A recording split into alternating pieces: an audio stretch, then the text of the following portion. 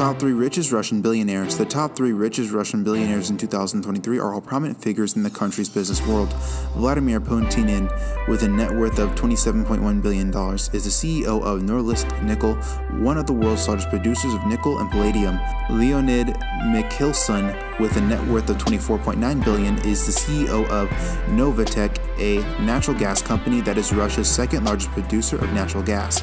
Vladimir Lisin, with a net worth of $22.1 billion, is the chairman of NLMK, a steel company that is one of the largest producers of steel in Russia and Europe.